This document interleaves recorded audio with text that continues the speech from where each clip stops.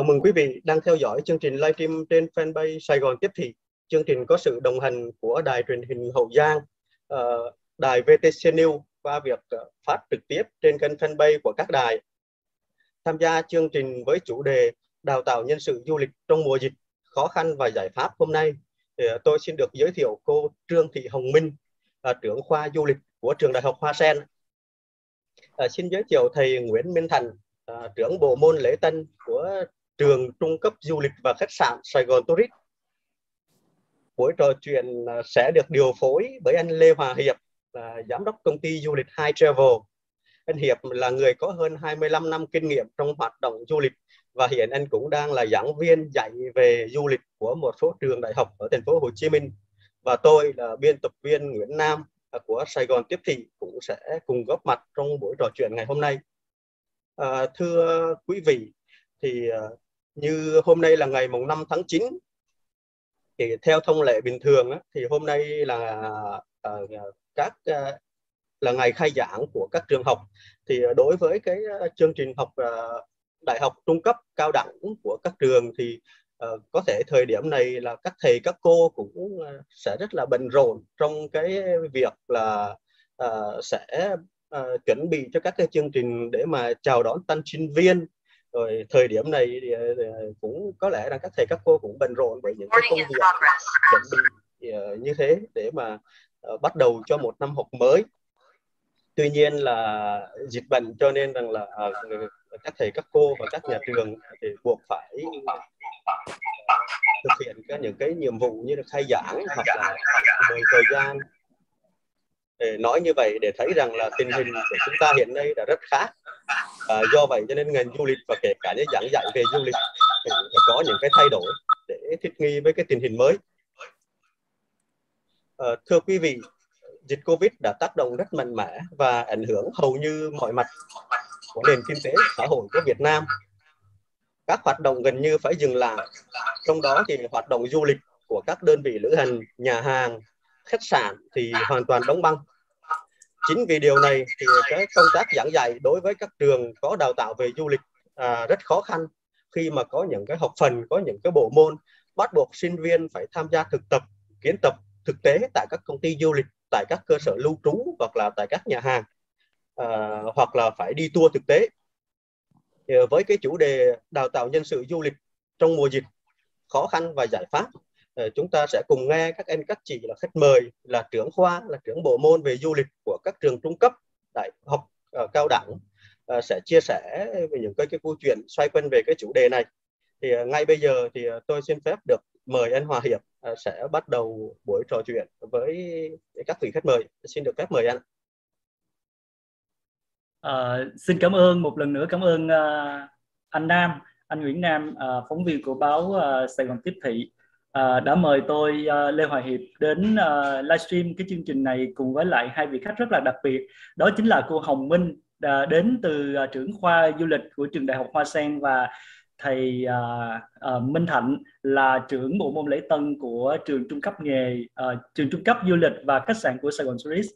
Uh, chúng tôi uh, nghĩ rằng là ngày hôm nay giống như hồi nãy anh Nam nói đấy là uh, lẽ ra rằng là chúng ta sẽ ngồi ở trên ở tại trường để chúng ta dự một cái lễ khai giảng rất là ờ, đặc biệt hàng năm. Nhưng ờ, năm nay chúng ta lại có một cái uh, một cái cuộc livestream ở tại đây. Thì xem như là một cuộc khai giảng đi để chúng ta gặp gỡ với sinh viên của mình.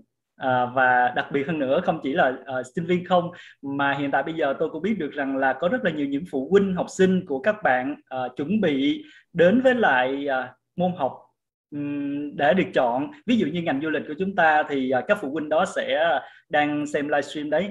Cho nên đó là quý vị uh, hai thầy cô sẽ cùng với tôi uh, chúng ta sẽ trải nghiệm uh, khoảng một tiếng cùng với là tất cả quý vị khán giả uh, đến với lại cái chương trình này hai thầy cô nhé. Uh, điều đầu tiên thì uh, cho tôi hỏi trước khi vào chương trình uh, chính thức á, thì cho tôi hỏi rằng là hiện tại bây giờ á, uh, không biết rằng là cuộc sống của chúng ta uh, dịch bệnh như thế này thì uh, hiện tại bây giờ các thầy cô đang uh, vẫn ổn chứ ạ à? sức khỏe chúng ta vẫn dồi dào và vẫn an toàn đúng không ạ à? tôi mời uh, thầy uh, Minh Thành trước nhé cảm ơn anh Hiệp um, về sức khỏe thì chắc là ở nhà hoài thì nó cũng sẽ không khỏe bằng là mình đi ra ngoài đường đúng không ạ thì yeah. Dạ. ở nhà cứ đi qua đi lại trong trong khuôn viên của nhà thì người nó cũng yếu đi rồi cũng hơi bực bội một chút hay cáu một chút. Tuy nhiên đó là suy nghĩ nó hơi tiêu cực nhưng mà vẫn có những lúc mình phải tự mình vực dậy uh, suy nghĩ tích cực hơn. Uh, bên cạnh cái tiêu cực đó là có những khi mình thèm ăn một cái món gì đó mà hàng ngày bình thường mình chỉ việc mình đi ra mình ăn là có. Nhưng mà vâng. ngày hôm nay á, thì do ở nhà thì mình lại có được cái khả năng đó chính là gì lắm khi mình nấu được một cái món mà mình thèm ăn tự tay mình nấu của mình ơi thậm bây giờ biết nấu ăn đấy yeah. mình làm được đủ thứ loại bánh ấy. đặc biệt là lấy những cái công thức ở trường để làm bánh flan rồi thậm chí làm một số những cái loại bánh cookie nho nhỏ yeah. làm luôn cả bánh bèo nữa đó wow. thì những cái điều đó nó cũng làm cho mình vui yeah. và khuây khỏa hơn trong cái mùa đại dịch phải cách ly tại, tại... Yeah. À, cảm ơn thầy vậy thì uh, hy vọng là chúng ta sẽ ổn qua mùa dịch này còn cô Hồng Minh thì thế nào ạ? À? Dạ thì uh, à, đối với em thì uh, việc ở nhà thì đó nó nói nói chung là nó cũng ảnh hưởng tới cái sinh hoạt hàng ngày tuy nhiên giống như thầy Thạnh nói là bản thân mình phải tìm ra được những cái niềm vui uh, bên cạnh là tuân thủ chắc chắn là phải tuân thủ uh, 5K của nhà nước rồi. Thì uh, cũng phải tạo thêm một số cái hoạt động tại vì em cũng có hai bạn nhỏ ở nhà tạo thêm cho các bạn uh, hoạt động cho các bạn để các bạn đỡ bị uh, gọi là nhàm chán. Tại vì các bạn nhỏ thì giống như mọi người cũng biết là rất là nhiều năng lượng. Mình phải giải phóng ừ. những cái năng lượng đó cho các bạn. Uh, đó là về việc uh, sinh hoạt gia đình và cũng khám phá được rất là nhiều cái mà trước đây giống như thầy thành nói là mình nghĩ là mình không biết làm. Nhưng mà giờ thì mình à mình cũng không đến nổi rồi sau đó thì uh, đó là liên quan tới việc uh, sinh hoạt trong gia đình. Còn về công việc thì uh, lúc này anh Nam có chia sẻ nếu như trong uh, giai đoạn bình thường thì đây là giai đoạn rất là tất bật. Tại vì ở trường mình phải chuẩn bị các hoạt động khai giảng đón mừng sinh viên sự kiện tuần không và các cái sự kiện offline khác. Uh, rất là nhiều hoạt động rất là nhiều uh, các cái sự kiện nhộn nhịp. Tuy nhiên thì uh, trong giai đoạn dịch bệnh này thì mình bản thân Hồng Minh cũng giống như các thầy cô ở khoa du lịch Đại học Hoa Sen thì có những cái phương án khác để tổ chức các cái sự kiện đặc biệt là lên phương án tổ chức các cái sự kiện online. Uh, công việc thì đôi khi em lại nhận thấy trong giai đoạn này đôi khi mình còn bận rộn hơn trong cái giai đoạn offline bình thường nữa. Tại vì trong giai đoạn này cả lãnh đạo khoa cả giảng viên và sinh viên phải đặt trong một cái gọi là cái cái tinh thần là ứng biến linh hoạt và thích nghi thích nghi cao trong cái hoạt động giảng dạy và học tập. Nên là đó là dạ, đó là một số cái chia sẻ liên quan tới cuộc sống hiện nay của em về gia đình về công việc.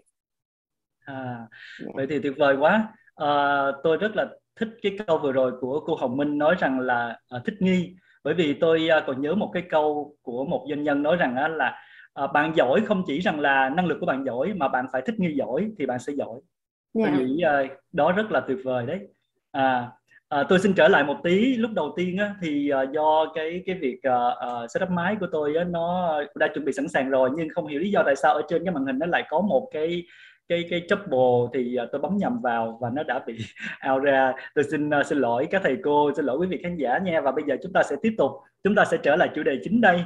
À, chủ đề chính của chúng ta ngày hôm nay đó chính là à, việc à, đào tạo nhân lực trong ngành du lịch trong mùa dịch này như thế nào. Thì à, tôi nghĩ rằng á, là cái việc à, trong nghề du lịch này cái ngành du lịch cũng là một trong những ngành hot và cực hot của những năm vừa qua.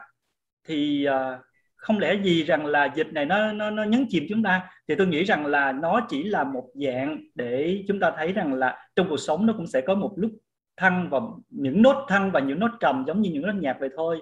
À, và không biết rằng là cái dịch này á thì à, cái ngành du lịch của chúng ta đặc biệt là trong đào tạo đấy thì à, chúng ta có bị trở ngại gì không? À, và nó còn hot giống như những năm trước nữa hay là không? Và tôi xin mời ý kiến của cô Hồng Minh trước. dạ cảm ơn cảm ơn anh Hiệp. À, em cũng xin phép chia sẻ nếu như mà các anh chị có đọc một cái thống kê của vụ giáo dục và đại học ờ, à, vụ giáo dục đại học của bộ à, khi mà xem xét cái số lượng đăng ký nguyện vọng một với cái khối ngành du lịch thì con số là số lượng thí sinh đăng ký là lên tới 48 nghìn. Cái gấp đôi chỉ tiêu đặt ra cho ban đầu chỉ là 24 nghìn để wow. mình thấy được rằng là à cái độ hot nó wow. nó không giảm. À, sẽ có rất là nhiều cái câu hỏi mà mọi người sẽ đặt rằng tại vì sao lại như vậy? Số lượng đăng ký của ngành du lịch uh, cái có thể thay đổi vì lý do dịch bệnh nhưng mà cái độ hot của ngành thì nó chưa bao giờ giảm. Đó những cái con số đó có thể thể hiện được. Uh, tại vì cái việc mà số lượng đăng ký của thí sinh nó không chỉ thể hiện cái nguyện vọng của thí sinh mà còn nó còn thể hiện được cái xu hướng nghề nghiệp trong cái giai đoạn trong một cái giai đoạn trong một năm một trong giai đoạn. Đồng thời nó cũng thể hiện cái nhu cầu và cái sự dịch chuyển của cái thị trường lao động và của nền kinh tế nói chung.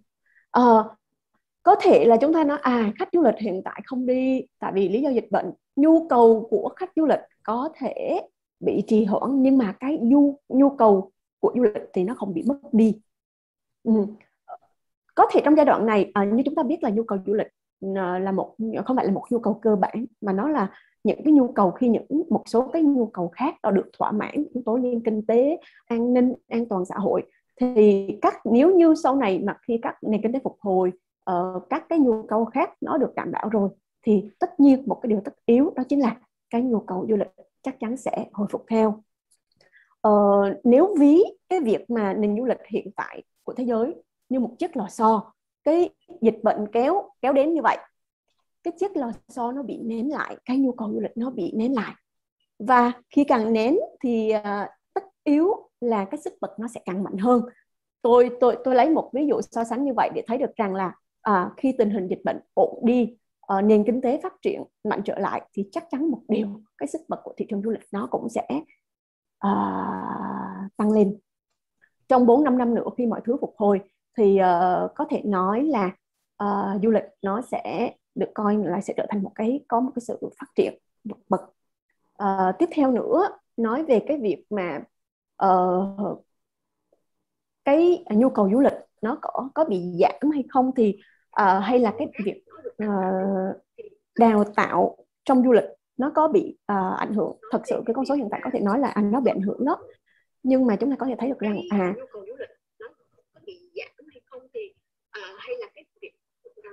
em, em xin lỗi em có nghe tiếng tiếng echo thầy cô ở đâu ta? Rồi ok mời cô tiếp. À dạ thì uh, uh, em em em đối với ngành du lịch mình có thể nói đó là một cái ngành có cái tính uyển chuyển và linh hoạt. Sinh viên thuộc khối ngành du lịch uh, khi ra trường ngoài cái kiến thức chuyên môn ngoài năng lực nghề nghiệp các bạn được còn trang bị uh, bài bản về ngoại ngữ về kỹ năng mềm. Uh, sinh viên ngành du lịch thì không không không đồng nghĩa với việc là chỉ làm hướng dẫn viên du lịch mà các bạn còn làm rất là nhiều những cái bộ phận khác. Uh, ví dụ như là marketing truyền thông du lịch uh, hay là uh, giới thiệu các địa điểm tham quan du lịch dưới hình thức là thu âm hay là các cái tour video ảo yeah. Dạ. mà giống như thầy Thạnh, anh Hiệp hay là anh Nam cũng biết thì thế hệ Gen Z hiện tại là một trong những cái thế hệ được gọi là sáng tạo và các bạn sẵn sàng chuyển mình theo cái hoàn cảnh đây ừ. có thể coi là một trong những cái tiềm năng uh, để các bạn sinh viên trẻ định hướng những cái nghề mà để các bạn có thể khám phá được những cái ngóc ngách của ngành du lịch mình uh, em xin phép là em nói thêm một cái ý nữa có thể hơi hơi hơi dài một xí uh, nếu như mà hai cái ý trên em nói là uh, anh Hiệp, thầy Thạnh hay là anh em có thể thấy được rằng là uh, Covid nó không chỉ có những cái khó khăn hay là thách thức mà nó còn có cơ hội. Có thể hiện tại là có sự thiếu hụt của uh, hiện tại là trong tương lai gần là có sẽ có sự thiếu hụt về nguồn nhân lực sau cái đại dịch này. Ví dụ như là theo tạp chí du lịch thống kê vào cuối tháng 6 năm 2021 á, thì ví dụ như khoảng 50% nhân lực ngành du lịch đã sẽ bị cắt giảm, đã bị cắt giảm và tái cấu trúc lại. À, thì phần lớn cái lao động bị cắt giảm này có tâm lý là không muốn quay trở lại ngành và đây sẽ là một trong những cái nguyên nhân dẫn đến tình trạng thiếu hụt nguồn nhân lực trong cái nhóm ngành du lịch lữ hành và khách sạn sau đại dịch thì nếu mà nhìn nhận một cách khách, khách quan thì cái việc đào tạo quá trình đào tạo cái thời gian đào tạo nó kéo dài từ 3 năm rưỡi 4 năm và hay là 4 năm rưỡi cho cái hệ đại học. Thì uh, trong tương lai chính cái việc này sẽ tạo cơ hội rất là nhiều cho các bạn thí sinh nếu các bạn uh, thí sinh đăng ký học những cái ngành này. Dạ. Ừ. đó là một số cái ý kiến của em Ok, tuyệt vời quá. Nếu như nói như vậy thì ngành du lịch của chúng ta đâu có uh, đâu có phải rằng là nó chỉ à, dừng lại như vậy mà nó còn phát triển giống như hồi nãy cô Hồng Minh nói rằng là nó giống như một cái lò xo và nó sẽ bật lên và lò xo bật có nghĩa rằng là nó phát triển khủng khiếp lắm. Thì tôi hy vọng rằng là ngành du lịch của chúng ta thời gian tới nó cũng sẽ như vậy. Và kính thưa quý vị, uh, thỉnh thoảng quý vị sẽ nghe một vài tiếng echo à, giống như vừa rồi bởi vì chúng tôi á, à, mong muốn rằng là không chỉ rằng là chúng tôi mang những cái tin bổ ích tính cho quý vị không đâu mà chúng tôi còn có luôn cả ờ, những anh em chúng tôi đang ngồi đây chúng tôi cũng có thể là chúng tôi sẽ có máy thứ hai thứ ba để làm sao để rằng là à, mong muốn rằng là cái giọng của chúng tôi sẽ tốt nhất à, ấm nhất và vang nhất đến rõ nhất đến cho quý vị để quý vị nghe được những thông tin bổ ích nhất vậy cho nên đó là thỉnh thoảng sẽ có một cái echo là do một cái máy của anh em nào đó. Chúng tôi đang mở quý vị nhé. Còn ngay bây giờ đây thì à, cùng câu hỏi đó tôi xin mời à, thầy à, Minh Hạnh. Nếu mà là từ một trường hồi nãy của thầy cô Hồng Minh ấy thì là trường Đại học Hoa Sen. À, còn bây giờ mình là theo hướng của trung cấp và trung cấp nghề trung cấp du lịch và khách sạn của tổng công ty Sài Gòn Tourist. Thì theo thầy đặc biệt là bộ môn về khách sạn nhà hàng thì thầy có ý kiến như thế nào về uh, cái độ hot của các bạn uh, nộp um, hồ sơ vào trường của mình? Xin mời thầy. Um, cảm ơn anh Hiệp. Ở đây thì tôi cũng muốn nói một, thêm một chút xíu một cái sự chia sẻ của tôi đối với uh, đặc biệt là các em trẻ đang theo dõi chương trình livestream hôm nay. Đó là nó có một cái thông tin mà tôi cũng đọc được uh, cũng nghe được. Và vừa rồi thì trên uh, VTV1 cũng có chiếu một cái đoạn clip là du lịch ở Croatia đó. À, yeah. Dạ. cả trong cái mùa mùa dịch này thì họ cũng đã vượt dậy vào mùa hè vừa rồi thì cũng rất là, là đạt được cái doanh số rất là, là, là vượt bậc bởi vì sao bởi vì ở ở đó thì họ đã có được cái tỷ lệ tiêm vaccine được đến 40 phần trăm trên cho những người dân trưởng thành và với cái cái chương trình mà nhà nước Việt Nam của chúng ta đang áp dụng để tiêm cho người dân của Việt Nam thì tôi hy vọng là cái khả năng mà chúng ta có thể đạt được miễn dịch cộng Dạ xin thưa xin thưa thầy à, thầy Thạnh ơi, thầy Thạnh à, hiểu xin lỗi một tí à, để cho cái âm thanh mình nó rõ hơn cho khán thính giả đang nghe đài đó thì hiệp sẽ nhờ thầy nói cái to lên tí giúp hiệp nha. Dạ. Okay. Dạ dạ cảm ơn thầy nghe rõ không hiệp ơi dạ rồi ok thầy được rồi thầy. Dạ. Thì ờ, ở Croatia thì cái tỷ lệ ờ, người dân người ta tiêm vaccine là đạt được 40 phần trăm. Dạ. Ờ, vừa rồi thì cái ngành du lịch của họ cũng đã khởi sắc trở lại vào mùa hè vừa rồi. Và ở Việt Nam của chúng ta thì nhà nước Việt Nam cũng đang tiến hành cái việc tiêm vaccine cho người dân trên một cái lộ trình cũng rất là tích cực. Thành ra tôi cũng hy vọng là ở Việt Nam cũng sẽ đạt được cái miễn dịch cộng đồng trong thời gian rất là sớm. Hơn nữa thì có một số các nhà đầu tư hiện tại chúng ta vẫn tiếp tục với các của mình tại ờ, Việt Nam hay là ngay cả tại thành phố Hồ Chí Minh như chúng ta thấy rằng là Grand Marina Bay hoặc là Hilton hay là ờ, uh, Ritz-Carlton là một trong những khách sạn nổi tiếng đẳng cấp 5 sao trong tập đoàn Marriott uh, chuẩn bị sẽ có mặt tại thành phố Hồ Chí Minh. Thì đây cũng là những cái vị trí mà chúng ta có thể thấy là yêu cầu nhân lực rất là lớn đặc biệt là trong ngành quản lý khách sạn.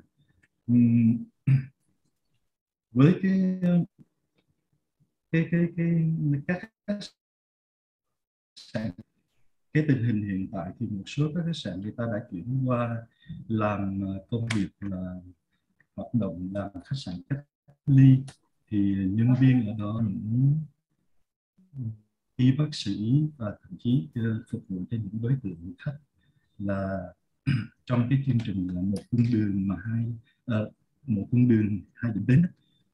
Thì uh, coi như là nhân viên thì người ta có thể là người ta sẽ được ừ, bố trí để ở ngay tại khách sạn ở ngay chính trong những cái cái, cái, cái phòng của khách sạn. Và mức lương cũng được trả rất là là hợp lý thì đấy cũng là một cái cái điều để cho thấy là trong ngành cũng cũng quan tâm đến cái cuộc sống của mình. Còn độ hot thì tôi đồng ý với cô Minh. Hiện tại bây giờ thì coi như là mình bị bó buộc. Như tôi chia sẻ đầu đầu buổi là tôi bị bị gói gọn ở trong cái ngôi nhà của mình và cái cái nhu cầu đi ra khỏi cái ngôi nhà đó. Cái nhu cầu đi du lịch nó bị tức lại và chắc chắn đến khi mà mà mà đại dịch kết thúc thì cái nhu cầu du lịch của chúng ta nó sẽ bùng phát. Và lúc bây giờ thì chắc chắn cái ngành này của chúng ta vẫn sẽ là hết.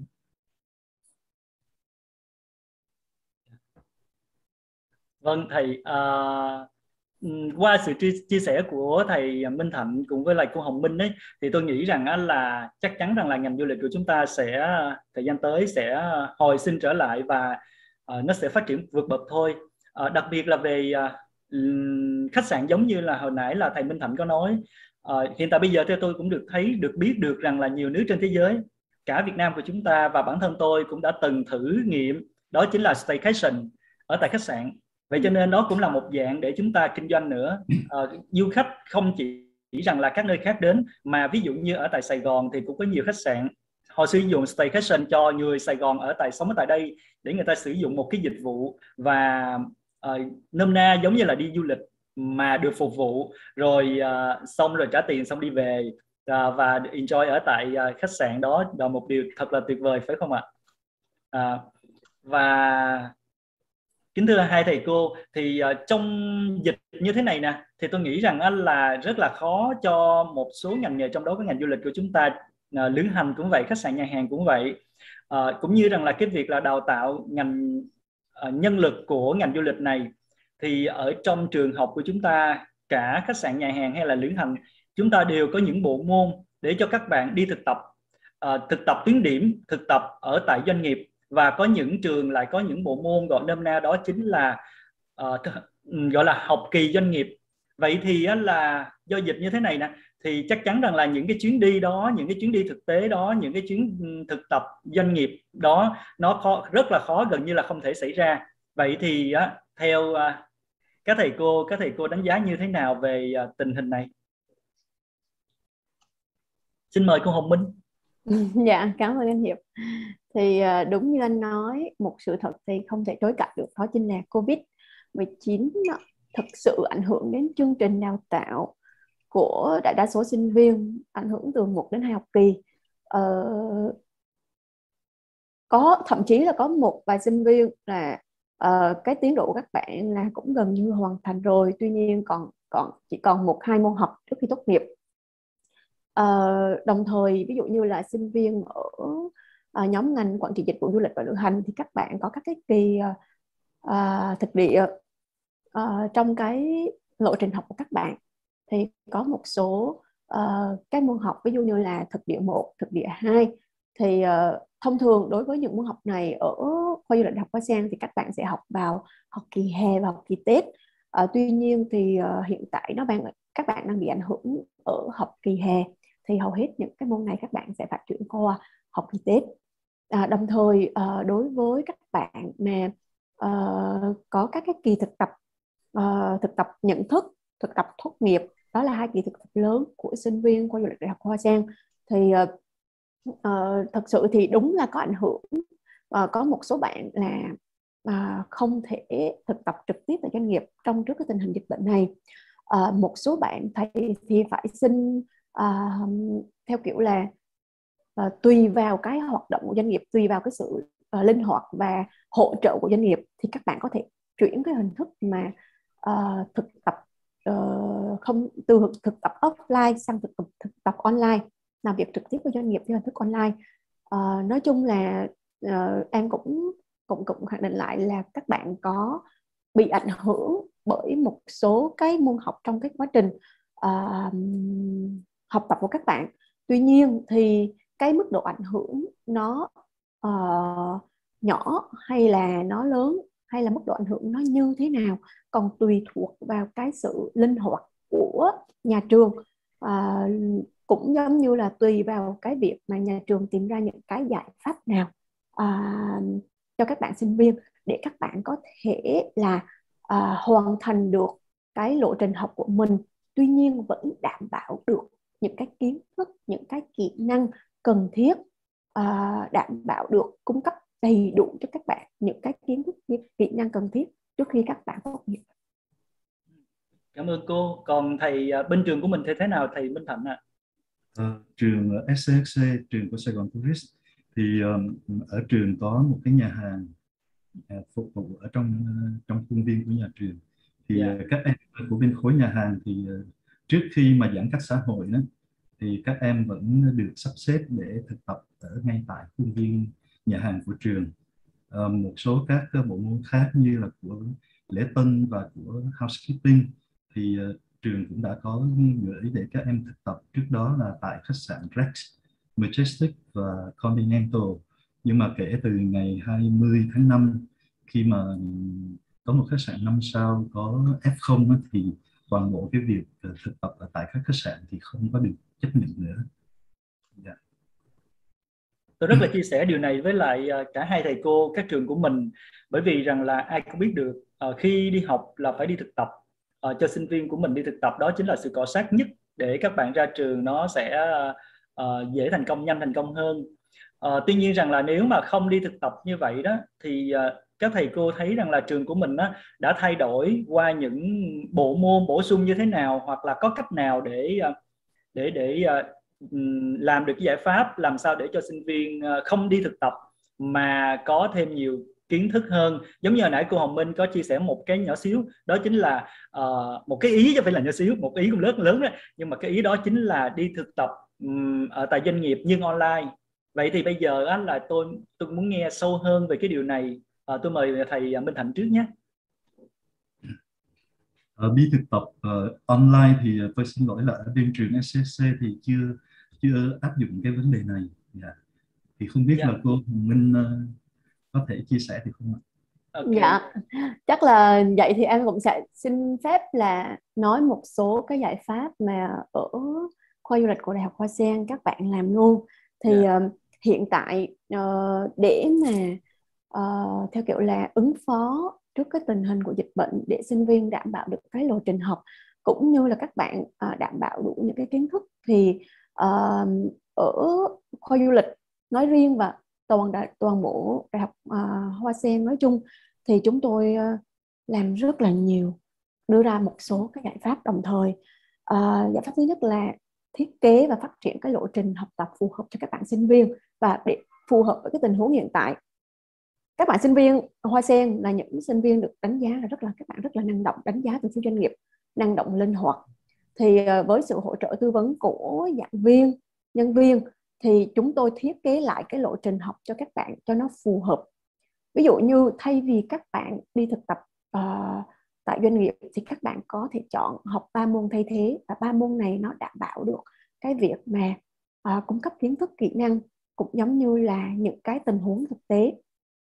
Uh, nếu như các bạn vẫn tìm được cái chỗ thực tập phù hợp đảm bảo điều kiện an toàn liên quan đến dịch bệnh thì các bạn vẫn được thực hiện. À, và trong cái tình huống ở trong trong cái nội dung này thì cũng xin phép chia sẻ à, lúc nãy à, Hồng Minh có chia sẻ về cái việc mà thực tập online. À, là sao? Tại vì như Hồng Minh có chia sẻ ngay từ uh, nó uh, ngay từ lúc đầu nói về những cái yếu tố mà tại vì sao nó hot tại vì các bạn sinh viên du lịch các bạn không chỉ là hướng dẫn viên du lịch các bạn không chỉ là làm ở các bộ phận lễ tân housekeeping hay là một số các cái bộ phận khác mà các bạn có thể làm marketing uh, về các cái truyền thông về sản phẩm về du lịch. Hay là các bạn có thể có thể làm trong các cái công ty về du lịch uh, ở hình thức online. Là như vậy các bạn có cái đủ cái kiến thức kỹ năng để làm các các cái mạng đó. Các bạn có thể thiết kế các cái tour ảo visual ảo uh, cho các cái công ty và một số những cái hoạt động khác. Uh, thì đó liên quan tới cái việc thiết kế lộ trình. Thứ hai á, là ở đại học hoa sen ở khoa du lịch thì uh, uh, ở, ờ, ở khoa du lịch còn ứng dụng các cái công nghệ đại học hoa sen còn ứng dụng các cái công nghệ trong hoạt động đào tạo và giảng dạy. Ví dụ như là thực sự thì dịch bệnh nó không phải là bây giờ mới có mà nó có từ năm ngoái rồi. Thì trường học đại học hoa sen đã tổ chức tập huấn cập nhật các cái tính năng các cái công cụ cho nó cho các bạn sinh viên cảm thấy là à, à nó không chỉ là cái tương tác qua màn hình mà có sự tương tác thực sự giữa giảng viên và sinh viên để các bạn cảm thấy là à việc học như vậy nó cũng hiệu quả. À, các các cái môn học liên quan tới thực địa trong lộ trình thì uh, các cái chương trình học thiết kế các cái trải nghiệm video ảo để sinh viên tham quan và thực hành trực tiếp trên đó luôn. Hay là uh, bên cạnh đó thì uh, uh, ở đặc biệt trong cái giai đoạn này khi mà các bạn đang có một số môn học đang trong trong giai đoạn là uh, các bạn vừa trải qua cuối kỳ hè cuối học kỳ hè thì các bạn xây dựng tổ chức các cái sự kiện trên các nền tảng online. Các bạn vừa được tương tác với các chuyên gia các bạn vừa được tương tác với các doanh nghiệp đồng thời các bạn học được những cái kỹ năng phản ứng kỹ năng thích nghi kỹ năng xử lý tình huống trong dịch giai đoạn dịch bệnh. Dịch bệnh có thể cấm các bạn sinh viên có thể cấm giảng viên có thể cấm tất cả mọi người à, ra ngoài nhưng mà không à, không cấm được các bạn. Có nghĩa là à, sáng tạo à, thích nghi và các bạn có thể là làm nhiều cái. Đôi khi bạn thân giảng viên mình cũng phải học rất nhiều từ các bạn. Là cái, cái điều đó em cũng xin chia sẻ luôn. Thì trong giai đoạn này thì một số các giải pháp mà ở uh, Hoa Sen ở Đại học Hoa Sen trường Đại học Hoa Sen và khoa du lịch uh, còn thực hiện nữa là mời doanh nghiệp tham gia trực tiếp vào trong các cái buổi học.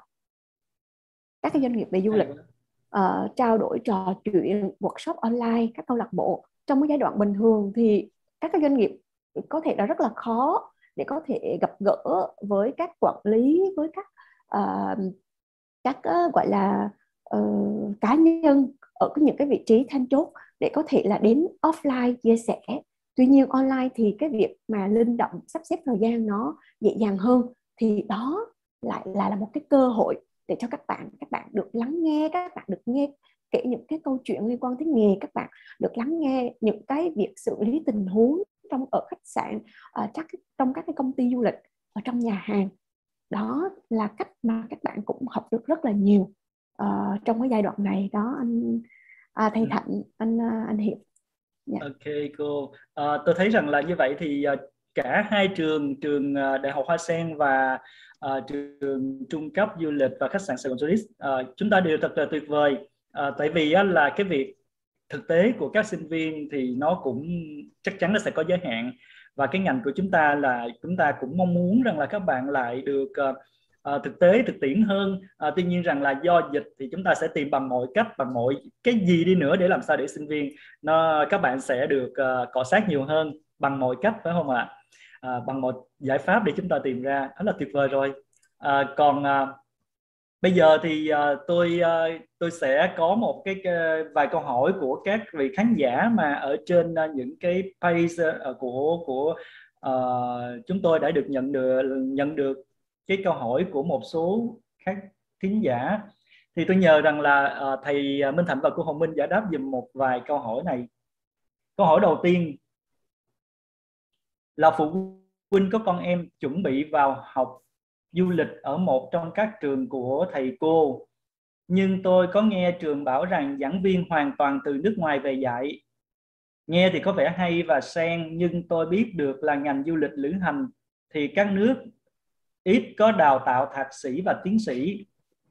Cho tôi hỏi đó là thuận lợi hay khó khăn của việc đào tạo du lịch lữ hành? Vì tôi biết người làm giỏi quốc tế thì chưa chắc giỏi nội địa và ngược lại. À, và hơn hết trong mùa dịch này rất cần sự chia sẻ của giảng viên thực tế. Vậy giảng viên không đúng chuyên ngành thì có trở ngại gì không? Nếu là trường của các thầy cô thì có khó khăn gì khi tuyển dụng nhân sự và tuyển sinh hay không? Với những trường hợp như vậy à, đây là câu hỏi của Lê Như Quỳnh. Thì uh, hơi bị dài ha. Thì giờ tôi nghĩ rằng là thôi giờ tại vì tôi đọc ừ, qua lại thôi. Thì tôi nghĩ rằng như thế này nè cái thay câu hỏi của chị Quỳnh này đó thì uh, chị sẽ hỏi rằng là giống như rằng là uh, có một số trường mà ừ, chị uh, đang có con em đang chuẩn bị vào học trong đó có ừ, các trường á thì uh, có một số trường bảo rằng là sẽ đi có giảng viên từ nước ngoài về quá tuyệt vời rồi uh, nhưng mà như vậy thì có sự khó khăn gì không ạ à?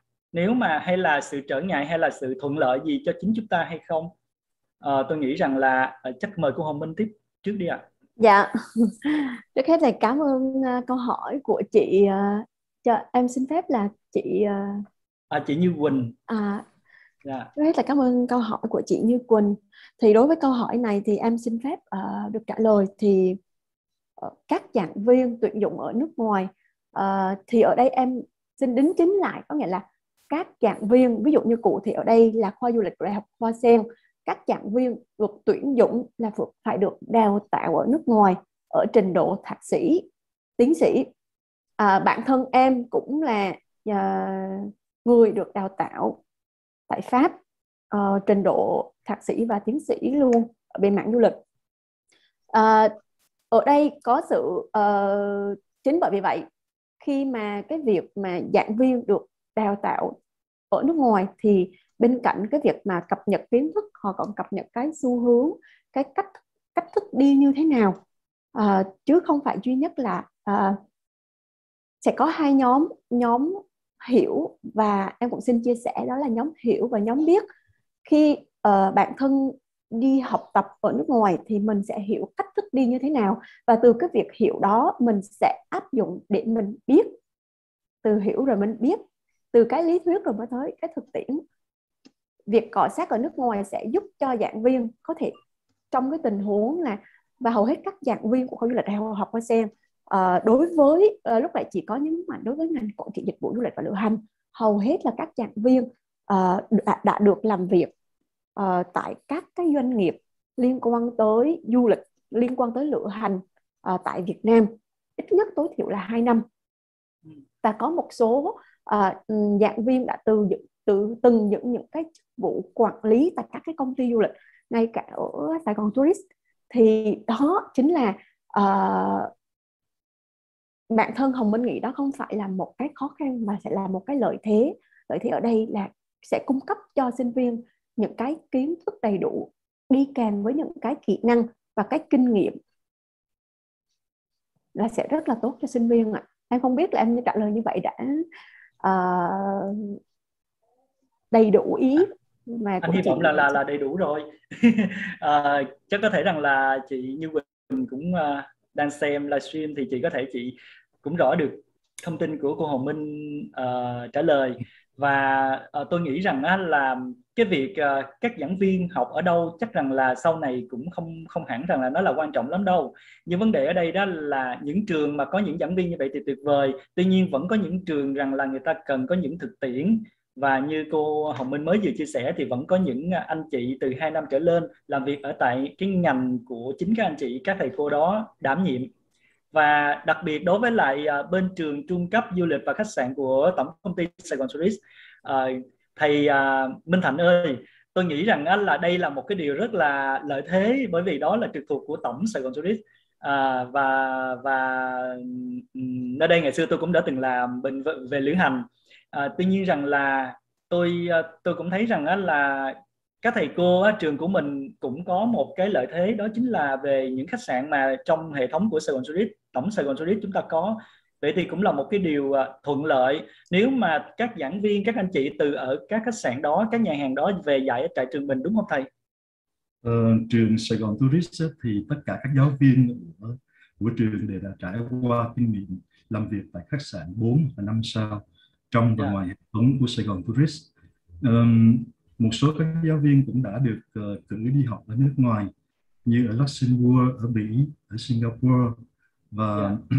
trường cũng có những giáo viên nước ngoài chuyên về bếp và hiện tại thì uh, trường đang đào tạo về nghiệp vụ hướng dẫn uh, marketing du lịch quản lý kinh doanh khách sạn uh, kinh doanh nhà hàng kỹ thuật chế biến món ăn Á Âu um, kỹ thuật pha chế uh, đồ uống và trường SSC rất là tự hào bởi vì trường mỗi một năm có được một cái lớp chuyên về lễ tân à, yeah. Dạ. trường hay gọi đó là lớp lễ tân khách sạn năm sao thì cái khối lớp này á, thì nó có một cái đặc thù đó là gì là tất cả các học viên đạt được chuẩn vào trong cái khối lớp này thì phải tốt nghiệp trung cấp và lớp này đã có thu hút được sự tham gia của các sinh viên của các trường đại học và cao đẳng. Yeah. thì uh, năm vừa rồi thì chúng tôi tuyển được uh, số lượng lên được đến 40 em trong đó có ba em đã tốt nghiệp đại học vẫn tham dự lớp này. Và khối lớp này thì toàn bộ tôi đào tạo các em bằng tiếng Anh trong quá trình học tập. Và khi các em ra làm trong những năm trước ờ, trước dịch thì khi khối lớp này đi ra ờ, Ờ, thì tất cả các em đều đã được vào trong các khách sạn năm sao ở tại thành phố Hồ Chí Minh mình để làm việc. Và có cả những em đã đi ra nước ngoài để tiếp tục với công việc của mình.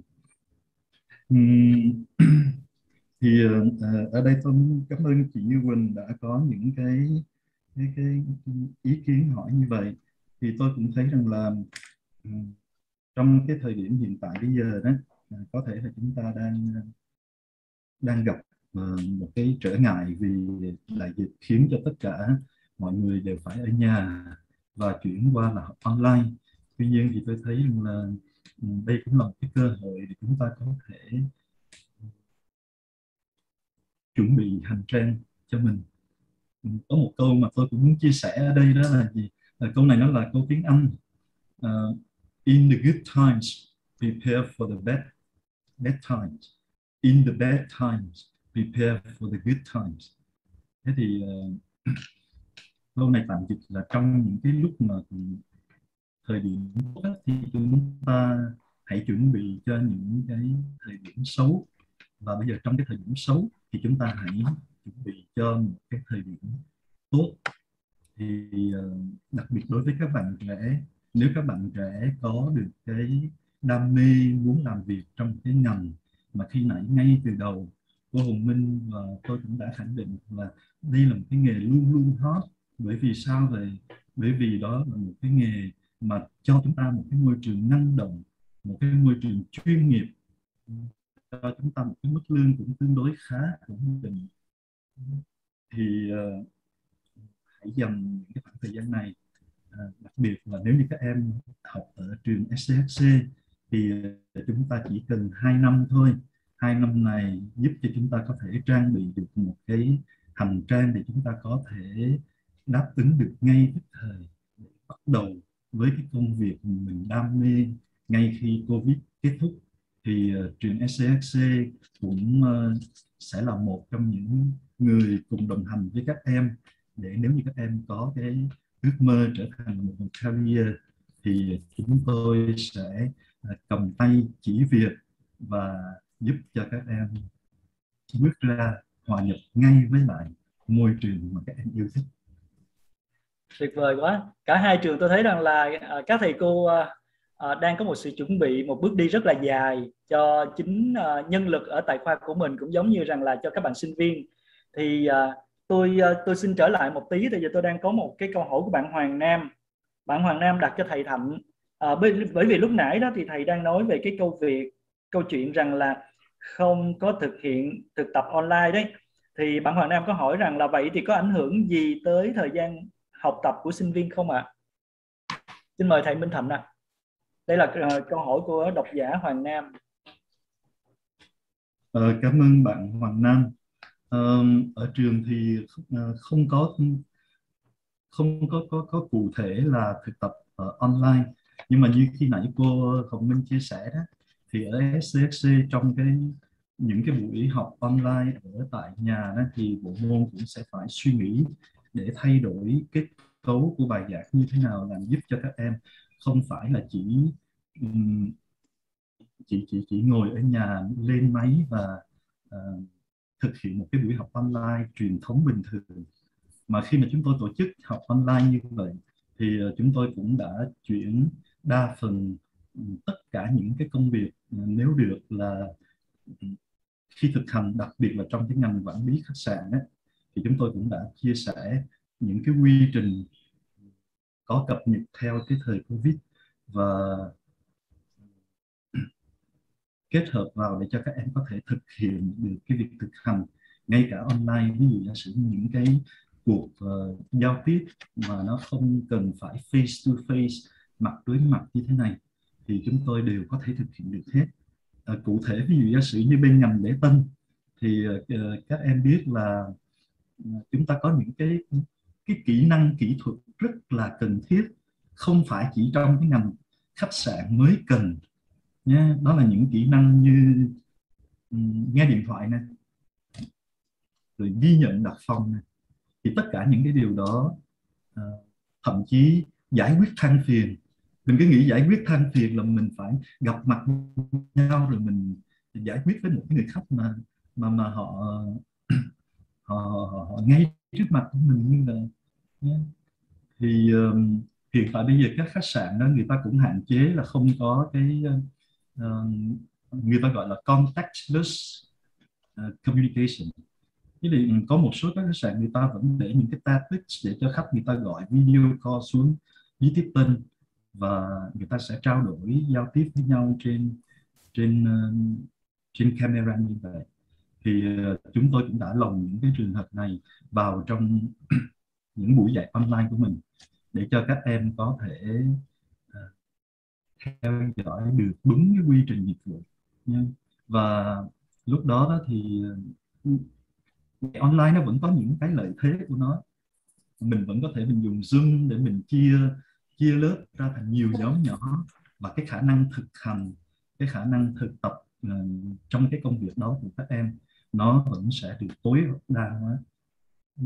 Và thêm nữa thì ờ, chúng tôi cũng đã có mời một số những cái chuyên gia như FOM của tại Le Meridian để chia sẻ những cái thực hiện um, những những cái cái cái, cái tình huống thực hiện ờ, hiện thực tại thời điểm này để cho các em có thể nắm được ngay cả công việc của mình trong trong trong thời khắc mà đang có dịch bệnh như thế nào.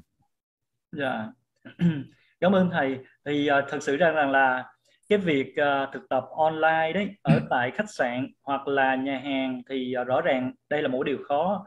Có thể rằng là ai ai trong ngành thì chúng ta cũng sẽ hiểu được điều đó. À, dạ cảm ơn bạn Hoàng Nam. Có câu hỏi này Ừ, tôi lại có một câu hỏi của một bạn tên là Nhật Quang. Có đặt câu hỏi cho hai thầy cô rằng hiện tại rất nhiều doanh nghiệp uh, trường đại học bạn ghi vậy đó thì có nghĩa là tôi hiểu rằng là có rất là nhiều trường đại học ở Đức và một số nước cũng bắt đầu dạy CSR Corporate Social Responsibility trách nhiệm xã hội cho sinh viên cái bộ môn này đó. Ờ, quý thầy cô thì liệu có nên là thêm cái bộ môn này trong việc giảng dạy của mình không? Để chúng ta rèn luyện là đạo đức hướng dẫn viên và trách nhiệm xã hội. Thì uh, tôi không biết rằng là uh, trường của mình đã từng có cái môn này chưa? Và chúng ta sẽ uh, sắp tới thì chúng ta đưa vào. Thì tôi thấy rằng là câu hỏi này hay. Tôi mời cô Hồng Minh trước đi để thay đổi. Dạ. Trước hết là cảm ơn bạn đã đặt một câu hỏi mà uh, không biết là có cái sự trùng hợp ngẫu nhiên nào không? Uh, tại khoa du lịch của đại học Hoa Sen thì năm vừa rồi thì khoa du lịch uh, có mở một uh, cái chương trình một cái ngành mới đó là ngành kinh tế thể thao. Và theo cái định hướng của uh, khoa du lịch theo hướng là phát triển bền vững uh, trách nhiệm xã hội trách nhiệm của doanh nghiệp đối với xã hội thì chúng tôi đã xây dựng cái môn học này và chúng tôi đã đưa thử nghiệm trước tiên vào cái ngành của kinh tế thể thao đây uh, đây sẽ là môn học không chỉ cho ngành kinh tế thể thao mà sẽ được thực hiện cho toàn bộ các ngành của khoa du lịch cho sang năm luôn. Thì cái việc mà đối với cái môn học này thì uh, uh, chắc chắn là các bạn sẽ được học dưới hình thức là uh, tại vì lúc nãy uh, độc giả có nói về cái vấn đề liên quan tới hướng dẫn viên du lịch nhưng ở đây thì cũng xin uh, trả lời với độc giả và cũng xin chia sẻ với thầy Thạnh với anh Hiệp luôn. Thì cái yếu tố trách nhiệm xã hội của uh, trách nhiệm của doanh nghiệp đối với xã hội nó không chỉ dừng lại ở chỉ riêng uh, trong uh, trong quản trị dịch vụ du lịch và lữ hành mà nó nếu nói đúng hơn là nó cho toàn bộ tất cả các cái chương trình đào tạo. Và khoa du lịch đã nhìn thấy được cái cách đi như vậy đã hướng đến cái định hướng phát triển bền vững và đưa cái môn học này vào trong cái uh, thử nghiệm trong cái chương trình đào tạo mới của khoa. À, thực sự thì khi mà xây dựng môn học này uh, cũng không không phải dễ dàng gì. Tại vì uh, đối với những cái môn học như vậy thì cần phải sự có có sự gọi là kết hợp đối với các cái doanh nghiệp uh, doanh nghiệp ở đây thì uh, khoa du lịch có đi tìm hiểu một số các cái doanh nghiệp cụ thể ở đây là uh, khoa du lịch tìm hiểu một cái cơ sở đào tạo nghề miễn phí uh, ở gần đường Ngô Tất Tố. Em xin phép em xin lỗi là em quên cái tên còn tại vì đã làm những cái bước đầu tiên. Um, sinh viên của khoa du lịch sẽ uh, cùng với các cái cơ sở đào tạo đó cơ sở đào tạo về du lịch đó sẽ cùng uh, ngồi lại với nhau uh, và bản thân giảng viên hướng dẫn giảng viên giảng dạy cái môn học này cũng được uh, uh, cũng được gọi là tham gia vào trong cái quá trình uh, với những cái chuẩn đầu ra rất là uh, đòi hỏi về kiến thức các bạn học môn học này cần có những cái gì về kỹ năng các bạn cần có những cái gì uh, thì uh, có có sự kết hợp chặt chẽ của ba bên đó chính là nhà trường uh, các bạn sinh viên ngồi học và các cái doanh nghiệp mà uh, khoa sẽ uh, làm việc trực tiếp. Uh, để từ đó là uh, khi các bạn học xong học này các bạn biết rõ được rằng là à, uh, các bạn cần có những cái uh, yêu cầu cụ thể nào uh, các bạn cần phải đạt được những yêu cầu đó. Uh, nếu được thì uh, chắc uh, xin phép mời uh, bạn độc giả uh, có cơ hội thì các bạn có thể uh, trải nghiệm về những cái môn học như vậy ở kho du lịch của đại học Hoa Sen để uh, có thể hiểu hơn về cách đi của khoa cách đi của trường. Ồ, oh, hay quá. À, vậy thì ừ. đối với lại bên trường của mình thế nào thì Thành ạ? À? Ờ, bên trường thì chưa làm được như cô Hồng Minh đâu thì chắc là bữa nào cũng sẽ phải xin cô Minh tham dự về cái cái cái cái tour khóa như thế này nha cô Minh nhé. Dạ nếu mà được uh, em em em nghĩ là uh, thực sự thì uh, ngay cả khoa du lịch đại học Hoa Sen và ngay cả trường của thầy Thạnh thì mình cũng có thể uh, kết hợp uh, để có thể đi sâu hơn vào các doanh nghiệp doanh nghiệp ở đây thì khoa du lịch đang thực hiện là uh, đó có thể là các cái cơ sở đào tạo cho uh, các cái uh, trẻ em uh, có hoàn cảnh khó khăn cơ sở đào tạo về du lịch để các cái kỹ năng uh, hay là uh, đối với một số các cái uh, loại hình du lịch cộng đồng tại các cái mô hình ở các cái khu vực ở đồng bằng sông Cửu Long uh, hay là ở một số các cái khu vực khác uh, đối với sinh viên uh, ngành quản trị dịch vụ du lịch và lữ hành thì có rất là nhiều cách đi. Mà em nghĩ là cái này sẽ là một cái bước đi dài và mình cũng có thể ngồi lại để trao đổi và tìm uh, và kết hợp với nhau để có thể là làm tốt hơn đó thầy. Câu hỏi của bạn đọc rất là hay. cũng, thực sự thì bên trường cũng có một thời gian là thực hiện cái chương trình tài trợ của Sài Gòn Tourist. Đối dạ. với 13 tỉnh đồng bằng sông Cửu Long dạ. thì uh, giảng viên của trường cũng đã có xuống tới tất cả những cái khu vực của đồng bằng sông Cửu Long để có một số những cái khóa đào tạo cho người dân để họ có thể làm du lịch uh, dạ. ngay tại Độ...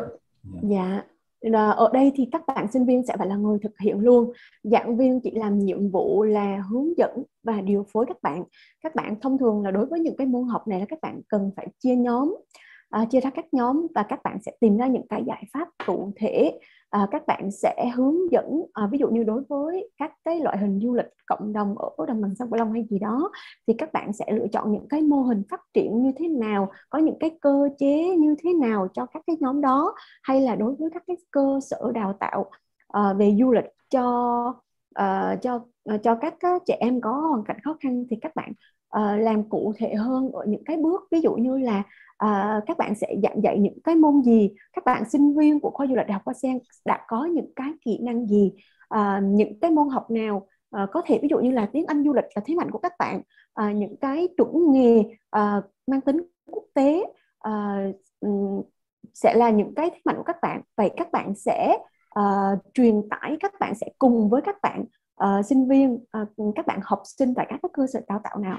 Các bạn đào tạo đó các bạn sẽ cùng đi như thế nào để sau 15 tuần? Tại vì một môn học uh, liên quan tới cái nội dung này thông thường nó sẽ kéo dài 15 tuần. Về sau 15 tuần các bạn sẽ có được những cái kết quả gì?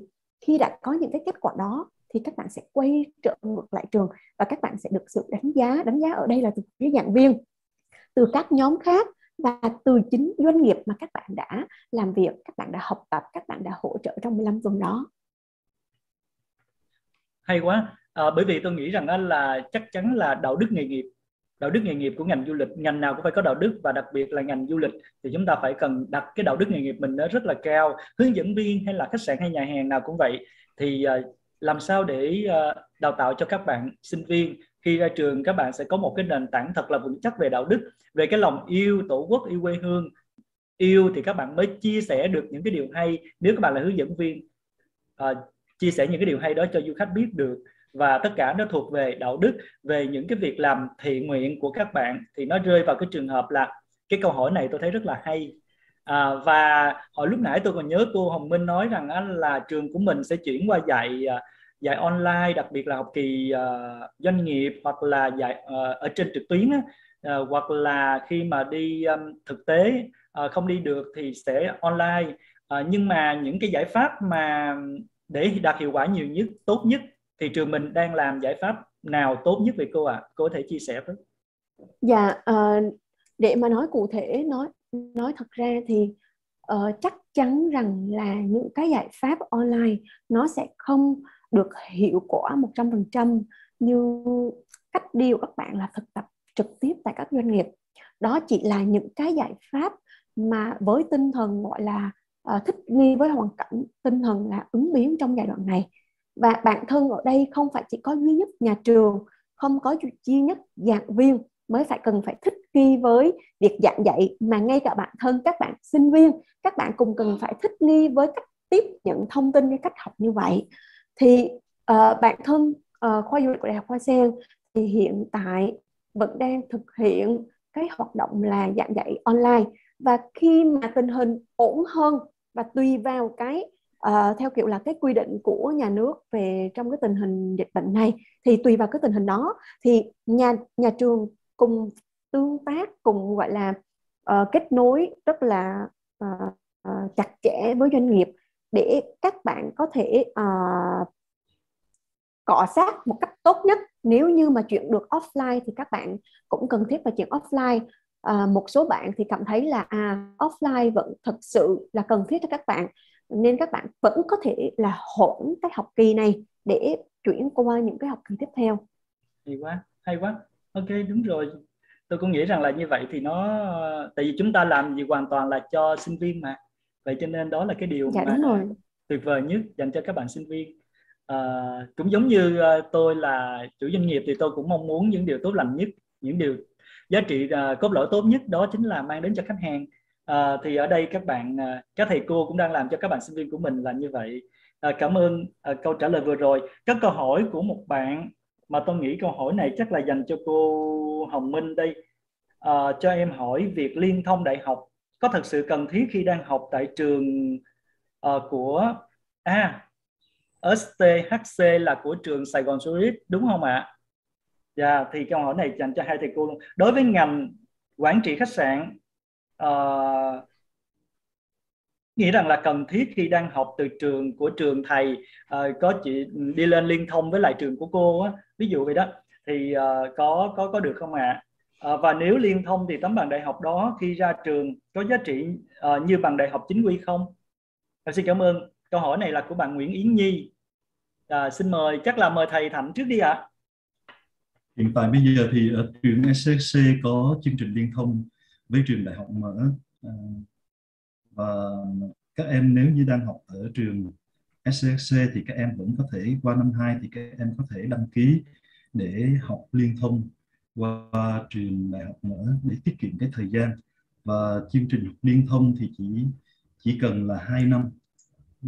À, ngoài ra thì trường cũng đang có ký hợp với trường Centennial của Canada để chuẩn bị à, học dạ. liên thông qua bằng đại học chứng chỉ à, quốc tế ừ. thì uh, học liên thông như vậy thì chắc chắn là nó sẽ tốt cho các em rồi ừ, dạ. khi mà mình học xong rồi mình có được cái bằng cử nhân thì cho em hỏi tí là liên thông dạ ừ. liên thông của trường mình với lại một trường thứ um, cao đẳng hoặc là đại học ở trong nước hay nước ngoài thì đó là cái việc là trường của mình quy định cùng với lại hợp tác với lại cái trường đó hay là mình các bạn sinh viên sẽ đi liên thông trường nào cũng được ạ? À? Ờ, coi như là trường thì chỉ có liên thông với đại học mở. Dạ. Yeah. Ừ. Dạ. Còn các bạn muốn qua ví dụ giả sử qua bên trường Hoa Sen của cô cô Hồng Minh thì ờ, các em phải phải phải tự đăng ký thôi. Vậy thì bây giờ phải nghe lời của cô Hồng Minh đây. Xin mời cô. Chắc là sau câu hỏi này thì uh, chắc là em cũng xin phép là đặt uh, đặt một cuộc hẹn với bên chỗ trường của thầy Thạnh để cùng làm một số đây là đây có thể có thể được gọi như là một cái một trong những cái nhu cầu của các bạn của người học thì hai trường cần phải ngồi lại và xem cái chương trình đào tạo của hai bên nếu như thế nào à, có những cái môn gì các các bạn có thể uh, ví dụ như uh, những cái môn học nào các bạn học và các bạn có thể là uh, có thể chuyển lên được cái cái cái cái cái cái, cái hệ cử nhân và những môn nào không các bạn cần bổ sung những cái kiến thức gì thì cái đó là chắc là phải ngồi xem lại cái chương trình đào tạo của hai trường. À, rồi à, à, mình sẽ à, rồi cái việc mà ví dụ như ở chương trình à, của hệ cao đẳng thì có một số môn các bạn đã học rồi.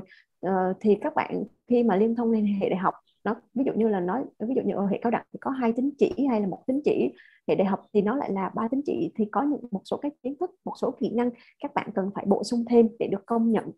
Thì các bạn cần phải uh, bổ sung thêm những cái kiến thức đó vậy thì hiện tại bây giờ trường đại học Hoa Sen có đang có đang cho liên thông từ cao đẳng hoặc là trung cấp lên không cô Dạ trước trước đây thì ờ, ở Đại học Hoa Sen có trường cao đẳng Hoa Sen thì ở trường ờ, cao đẳng Hoa Sen thì các, khi các bạn học xong thì các bạn cũng được ờ, xem xét để công nhận những cái tín chỉ mà các bạn đã học và bổ sung thêm những cái các bạn thiếu để có thể công nhận được cái hệ cử nhân và cũng đang xem xét để xem xét làm việc với một số các trường khác và có thể trong tương lai gần sẽ là ở Sài Gòn Tourist để uh, tạo điều kiện hơn cho cho các bạn có những cái uh, cách đi phù hợp hơn rồi uh, đáp ứng được nhu cầu của chính các bạn học sinh các bạn sinh viên Ừ, hay quá. À, cảm ơn cô cảm ơn thầy đã có câu trả lời vừa rồi. Rất là thiết thực rất là xác đáng cho các bạn sinh viên vâng ạ. À,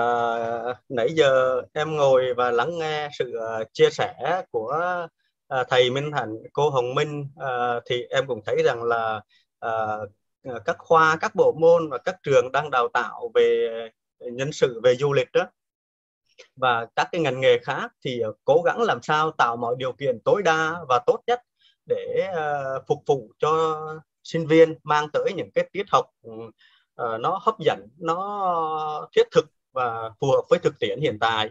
Uh, có những cái ờ, biện pháp những cái giải pháp uh, thích nghi trong cái điều kiện mà không thể đến lớp đến trường được như hiện nay. Thì uh, tuy nhiên là cái điều đó thì cũng cũng uh, khiến cho một vài bạn sinh viên đang học du lịch có cái tâm lý rằng là cảm thấy rằng là lo lắng và hơi nản khi mà uh, tình hình dịch nó kéo dài và nó ảnh hưởng rất là rộng tới cái ờ, nhân sự của các cái doanh nghiệp du lịch đang hoạt động. Ừ, thì không biết rằng là ở cái góc độ là ờ, doanh nghiệp là cái nhà tuyển dụng thì anh Hiệp có thể ờ, anh chia sẻ thêm hoặc là có những cái lời khuyên gì đối với các bạn sinh viên, đặc biệt là những sinh viên năm tư sắp ra trường, đối với các trường đại học hoặc là đối với các bạn sinh viên năm hai, đối với các trường trung cấp cao đẳng? Cảm ơn câu hỏi của em Nam um, như thế này dùng từ uh, nản thì uh, rõ ràng rằng là uh, uh, không sai. Uh, bởi vì rằng là tất cả chúng tôi đang làm ở trong cái ngành tôi dùng từ là những người đang đã và làm trong trong cái ngành du lịch này thời gian dịch nó ập đến gần hai năm nay thì chúng tôi dường như là chới với.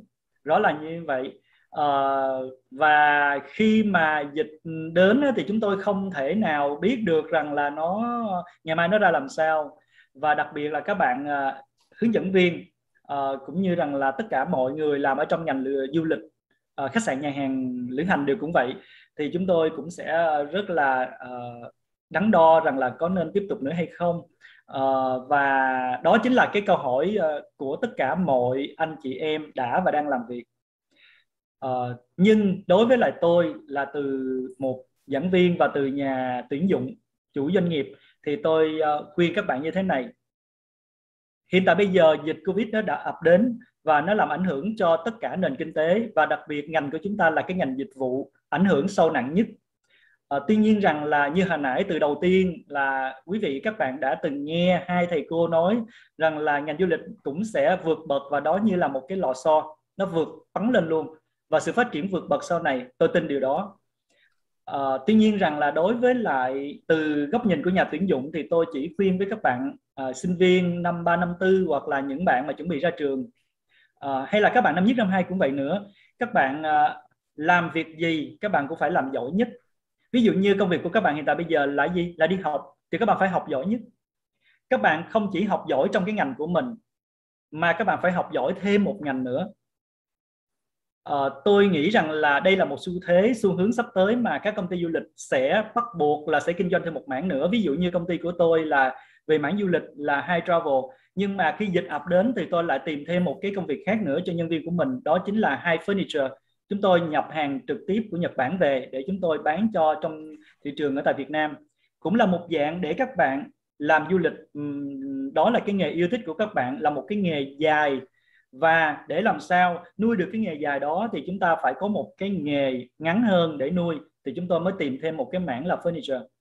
Và hai furniture vn đã được ra đời là như vậy. Cho nên là tất cả các bạn sinh viên hiện tại bây giờ các bạn hãy uh, học giỏi. Phải ngày xưa chúng ta học năm sáu bây giờ các bạn phải học 8 9 10 luôn. Cho tôi các bạn không chỉ là học trong ngành du lịch không chỉ có nghĩa là các bạn phải học giỏi ngành du lịch rồi thì các bạn vẫn phải học thêm những một đại học khác hoặc là bạn học thêm một cái term khác để các bạn có một cái kiến thức nền tảng. Nôm na ví dụ như rằng là các bạn đang học hướng dẫn viên. Uh, hướng dẫn viên là một công việc rất là đẹp mà tôi đã từng từ xuất phát từ đó. Và tôi lại cũng nghĩ đã được ờ, làm cả sales và điều hành cả inbound nội địa và outbound. Cho nên đó là tôi nghĩ rằng là tôi chỉ đánh giá theo quan điểm của tôi thôi hướng dẫn viên là một nghề rất là đẹp nhưng chúng ta đang bị gọi là bị uh, lệ thuộc đi kiếm tiền. Trong cái ngành du lịch cái ngành cái cái cái nhóm mà chủ động kiếm tiền đó chính là sales. Vậy thì các bạn làm hướng dẫn viên quá tuyệt vời. Vậy thì các bạn học thêm cho tôi về kiến thức marketing. Các bạn có thể học thêm về kiến thức sales. Uh, và các bạn không chỉ rằng là hướng dẫn giỏi ở trên một cái tour mang khách tiếp nữa đến với lại cái khách đó đó tiếp tục đến với lại công ty không chỉ rằng là chúng ta có khả năng về hướng dẫn viên mà chúng ta phải có luôn cả cái cái, cái khả năng là bán hàng khả năng sales khả năng marketing. À, và phải thật là tìm hiểu. Ví dụ như các bạn đang làm uh, trong nước thì các bạn có thể giới thiệu một cái tour outbound. Đấy ví dụ như các bạn đang làm một cái tour inbound ở trong nước thì các bạn làm luôn cả cái khách đó đó có thể rằng là họ mua luôn cả cái tour đó của mình đi Campuchia với lại Thái Lan hoặc là Lào đi các nước Đông Dương cái đó là cái sự kết hợp của ngành nghề du lịch và tôi hy vọng và tôi nghĩ rằng là chắc chắn thôi. À, chúng ta phải sống chung với lũ rồi. À, dịch này thì à, chúng ta không có thể à, giống như các nước trên thế giới hiện tại bây giờ các bạn có thể nhìn thấy được là họ cũng đang sống chung với dịch. À, và giãn cách từ từ ra chúng ta sẽ đi làm sau 15 tháng 9 thì Sài Gòn sẽ được đi làm sẽ đi đứng này kia nọ. Tôi hy vọng là vậy. Và à, chúng ta vẫn phải giữ khoảng cách vẫn phải 5K 5T đấy. Nhưng tuy nhiên rằng là đối với lại mỗi cá nhân của mỗi sinh viên các bạn phải làm sao các bạn học thêm những cái ngành khác nữa cho tôi. Các bạn có một điều rằng là tôi thấy cái ngành du lịch này á, tất cả mọi công ty đều lớn như nhau và mọi công ty đều nhỏ giống như nhau. Hỏi lý do tại sao? Khi mà tôi đứng lớp tôi cũng chia sẻ điều đó thôi, các bạn biết sao không?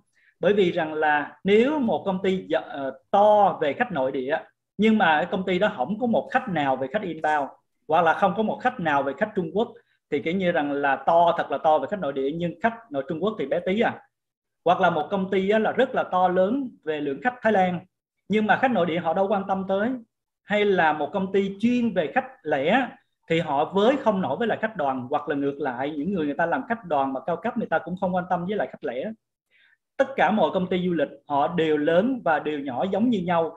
Vì như vậy cho nên các bạn có đi thực tập ở tại công ty á, tại doanh nghiệp á, thì các bạn hãy làm sao cố gắng làm sao để học được càng nhiều càng tốt các bạn hãy cho vào tham dự vào các tất cả mọi cái gì mà uh, sếp công ty đó hoặc là các uh, anh chị ở tại công ty giao phó cho các bạn các bạn học càng nhiều càng tốt.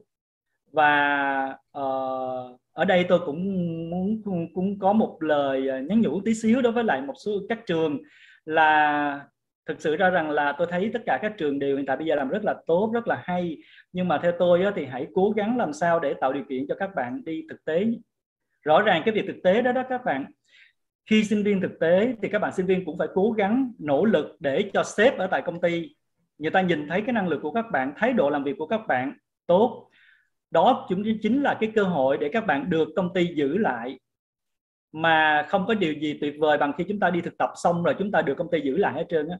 Hiện tại bây giờ công ty của tôi gần như rằng là mỗi một lứa các bạn đến thực tập thì chúng tôi đều được giữ lại các bạn. Một số các bạn nổi bật. Tôi phải dùng từ là như vậy thì đó cũng chính là cái điều mà các bạn sinh viên phải hình dung được. Khi chúng ta đi thực tập doanh nghiệp thì các bạn phải làm sao thể hiện được thái độ làm việc học tập của mình ở tại doanh nghiệp. Sau này khi các bạn đi làm á, chúng tôi sẽ không quan trọng về cái việc là kiến thức nhiều lắm nữa đâu nhưng mà chúng tôi quan trọng về thái độ. Thái độ chúng tôi đánh giá cao hơn trình độ các bạn nha. Còn ở tại trường khi tôi đứng lớp thì tôi vẫn à, mong muốn rằng là trình độ của các bạn sẽ càng ngày càng sẽ càng được nâng lên nhưng mà khi về doanh nghiệp thì tôi lại nghĩ tôi là mong muốn rằng là các bạn phải có thái độ tốt. Đó chính là làm việc mang cái tâm của mình. Cái nghề du lịch này rất là hay. À, khi mà các bạn đặt cái tâm của mình trong nghề thì các bạn sẽ được những cái gì các bạn cần. À, và tôi nghĩ rằng là tất cả chúng ta tôi chốt lại là tất cả các bạn trẻ các bạn đang là sinh viên hoặc chuẩn bị bước vào là sinh viên thì các bạn hãy làm những việc của mình tốt nhất. Ở tại trường các bạn phải học tốt nhất các bạn hãy học thêm những cái điều mà các bạn có thể là giúp cho các bạn sau này. Các bạn làm thêm công việc thứ hai thứ ba. Chứ không chỉ là dừng lại ở tại ngành du lịch không.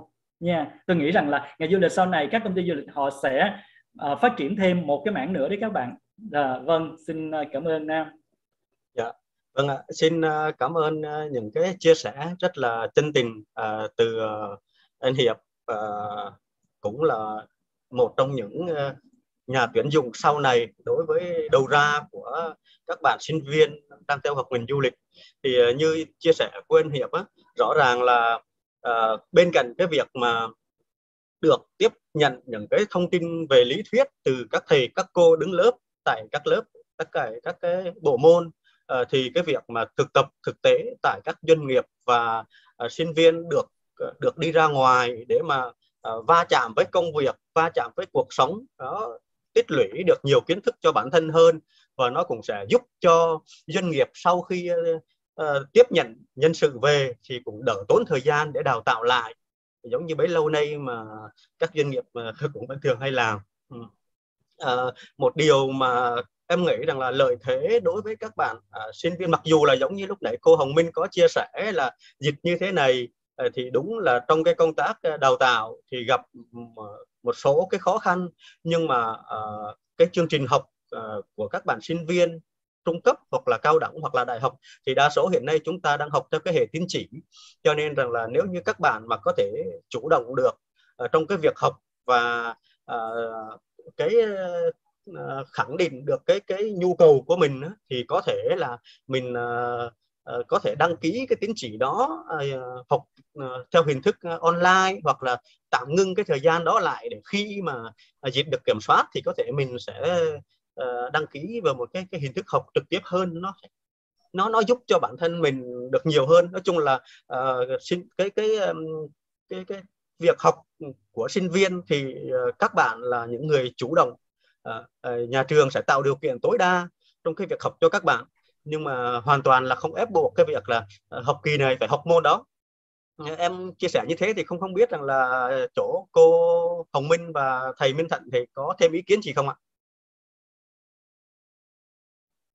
Dạ, cô cô mời cô Hồng Minh đi ạ. Dạ, à. Dạ, thật ra thì em hoàn toàn đồng ý với ý kiến của anh Nam thì uh, việc học hiện tại theo hệ tín chỉ nên các bạn sinh viên hoàn toàn chủ động à, cùng với sự giống như lúc nãy em có chia sẻ cùng với sự hỗ trợ của à, giảng viên thì các bạn có thể xây dựng một cái lộ trình học phù hợp cho bản thân trong giai đoạn bình thường hay như cũng như trong giai đoạn dịch bệnh.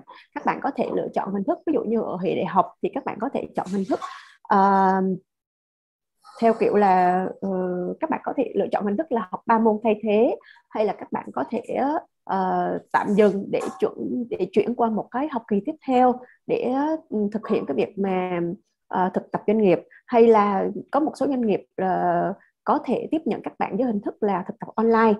Uh, làm như thế nào để các bạn có thể có được những cái uh, kinh nghiệm và cái uh, kỹ năng uh, thông qua cái việc thực tập gọi là tốt nhất cho việc thực tập. Thì uh, Ờ, bản thân khoa du lịch đại khoa sen thì cái yếu tố đầu tiên mà khoa du lịch luôn mong muốn có nghĩa là phải làm thế nào?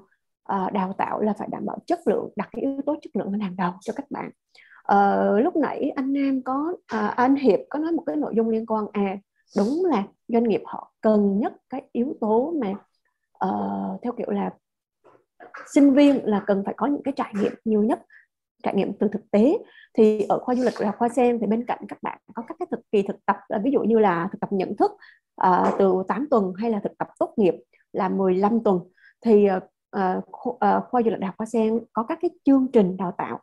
Uh, hiện tại ví dụ như là uh, có cái chương trình um, hoa sen elite um, chương trình khách sạn quản trị khách sạn elite. Các bạn có 4 năm đào tạo trong đó có 2 năm được đào tạo uh, tại trường và 2 năm các bạn sẽ đi làm trực tiếp tại doanh nghiệp luôn. Khi mà hai các bạn đi làm trực tiếp tại doanh nghiệp thì các bạn lại được trả lương nữa. Đó là một cái chương trình cũng khá khá là đặc biệt và uh, cũng khá đi theo định hướng có nghĩa là sự mong muốn của nhà trường của người học và của doanh nghiệp uh, vẫn đảm bảo đủ cái yếu tố đảm bảo chất lượng theo cái uh, quy định của bộ giáo dục và đào tạo.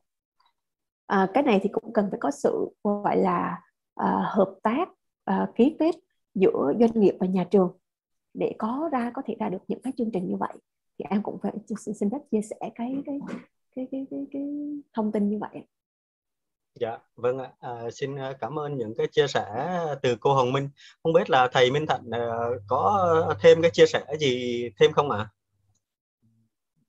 À, tôi cũng đồng ý với lại cô Hồng Minh và thực sự thì trong cái buổi chia sẻ trao đổi ngày hôm nay thì trường SSC phải nói là phải phải học rất là nhiều nhiều từ những cái ý kiến của anh anh Diệp và những cái chia sẻ từ phía cô Hồng Minh. Cảm ơn thầy.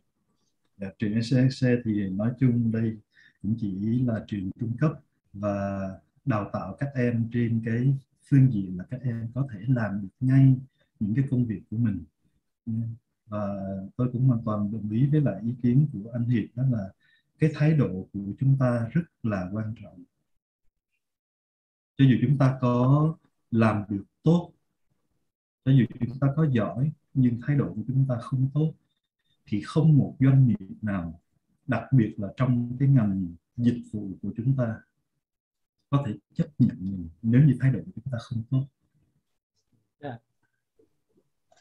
Với thêm một ờ, một cái điểm nữa thì tôi cũng ờ, muốn ờ, khuyên các bạn trẻ là, là chúng ta nếu như các em muốn làm việc trong ngành du lịch khách sạn thì chúng ta cũng hãy dành cái thời gian đặc biệt là trong thời gian mà chúng ta đang đang giãn cách xã hội để cố gắng học thêm về ngoại ngữ ừ. tại vì ngoại ngữ đó là một cái yếu tố rất quan trọng nếu như chúng ta sau này chúng ta đi vào trong ngành đi làm hướng dẫn viên đi làm lễ tân khách sạn hay là ngay cả nhân viên ở tại uh, nhà hàng mà chúng ta phục vụ một người khách nước ngoài khi ngoại ngữ của chúng ta không có uh, tốt thì công việc đó chúng ta có làm giỏi chúng ta cũng bị trở ngại rất là nhiều.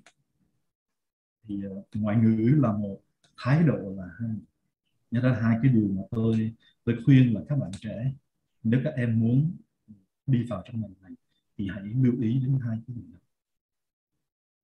Dạ, vâng ạ. À, xin cảm ơn những cái chia sẻ và những cái uh, um, lời khuyên rất là chân tình từ cô Hồng Minh, từ thầy Minh Thành uh, đối với sinh viên, uh, đối với những bạn uh, đang theo học và những bạn có ý định sẽ đi theo ngành dịch vụ du lịch, uh, cũng như rằng là rất là cảm ơn những cái chia sẻ của anh Hiệp uh, trong cái uh, việc rằng là uh, mong muốn các bạn sinh viên uh, dù trong cái môi trường học tập hay là dù trong cái môi trường thực tập tại doanh nghiệp thì ngoài cái yếu tố là kiến thức thì uh, cái thái độ cũng sẽ uh, giúp cho các bạn uh, thể hiện được chính bản thân của các bạn.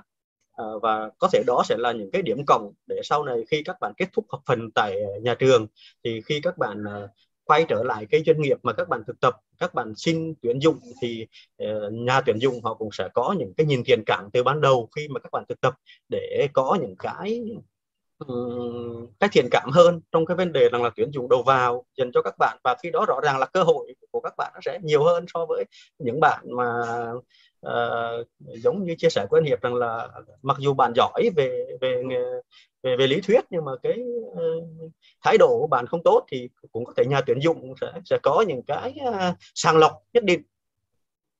Uh, vâng thưa quý vị và các bạn thì, uh, chương trình của chúng tôi đến đây cũng xin được phép khép lại. Uh, một lần nữa thì thay mặt những người thực hiện chương trình uh, tôi xin được cảm ơn cô Hồng Minh và thầy Minh Thành à, đã tham gia buổi talk ngày hôm nay.